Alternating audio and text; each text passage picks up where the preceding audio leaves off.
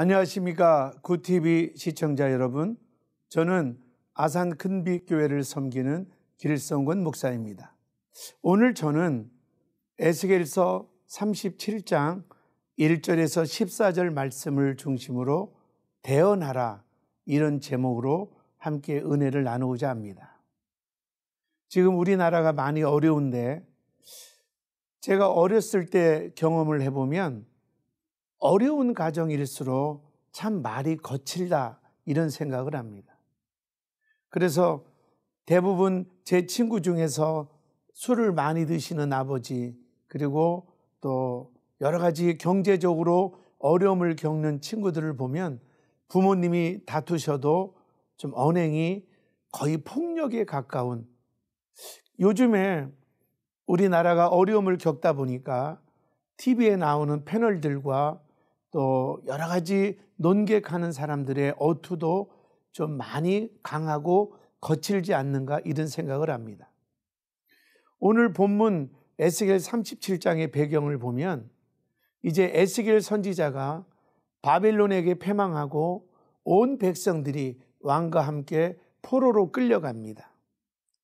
포로로 끌려가서 포로 생활을 하는 에스겔에게는 아무 희망이 없습니다. 무슨 희망이 있겠습니까? 포로로 끌려가서 이제 남이 나라의 종으로 있는데 그런데 어느 날 하나님이 에스겔 선지자를 부르십니다. 그리고 나서 에스겔 골짜기로 모시고 가고 그리고 그곳에서 보라고 합니다. 깜짝 놀랐습니다. 에스겔 선지자가 보니까 그 골짜기에 죽은 지 오래됐던 뼈들이 수북합니다. 그때 하나님이 에스겔 선지자에게 이렇게 말합니다. 에스가라, 이 뼈들이 살아나겠느냐? 그때 에스겔 선지자 이렇게 말합니다. 하나님이 아십니다. 저는 잘 모르지만 하나님은 아십니다. 이때 하나님이 이렇게 말씀합니다. 너 나를 대신해서 대언하라. 대언하라. 그래서 에스겔 선지자가 하나님 대신 대언합니다. 뼈들은 붙을지어다 이렇게 대언했습니다. 그러자 정말 말도 안 되는 일들이 벌어지는데 뼈들이 붙기 시작합니다. 그리고 그 뼈에 살이 덮이고 신경이 생기고 가죽이 덮여서 군대가 됩니다. 그리고 또 대언합니다. 생기는 들어가라. 그랬더니 그 뼈만 있던 그들이 어마어마한 군대가 되는 것을 보게 됩니다. 사랑하는 성도 여러분, 지금 에스겔이 무엇을 했나요? 대언했습니다. 살기 힘드시죠? 예배도 자유롭지 않지요? 이때 우리가 할 일은 하나님의 말씀을 대언하는 것입니다. 짜증난다고 집에 가서도 짜증 부리고 또 아이들이 계약을 못하고 집에 오래 있다고 아이들을 볼 때마다 신경질만 부리고 여러분 힘들면 누구나 짜증과 거친 말이 나옵니다.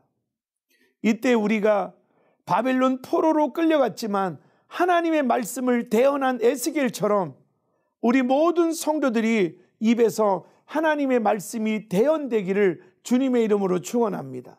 그래서 내 말이 아니라 내 생각이 아니라 그리고 내 감정이 아니라 하나님의 말씀을 증거할 때 놀라운 하나님의 기적이 우리 교회, 우리 가정에 임할 줄로 믿습니다. 사사기에 보면 이렇게 말합니다. 왕이 없는 고로 각 백성들이 자기의 소견대로 말하더라. 자기 소견대로, 자기 느낌대로 말했다는 겁니다. 전문가는 전문가대로 코로나가 영원할 거라고 얘기합니다. 사회자는 사회자대로 교회가 마치 불온한 집단처럼 말합니다. 사랑하는 성도 여러분, 자기 소견대로 말해서는 안 됩니다. 교회에서도 힘들고 어렵다고 내 감정대로 말해서는 안 됩니다. 지금은 내 소견을 말하는 것이 아니라 하나님의 말씀을 대언해야 합니다. 그래서 내 속에는 좀 답답함이 있어도 너는 잘 될 거라고. 내 속에서는 부정적인 것이 떠올라도 우리 잘 될 거라고. 내 속에서는 짜증이 올라와도 우리 감사하자고. 여러분, 지금은 내 감정을 말하면 안 됩니다. 내 소견을 말하면 안 됩니다.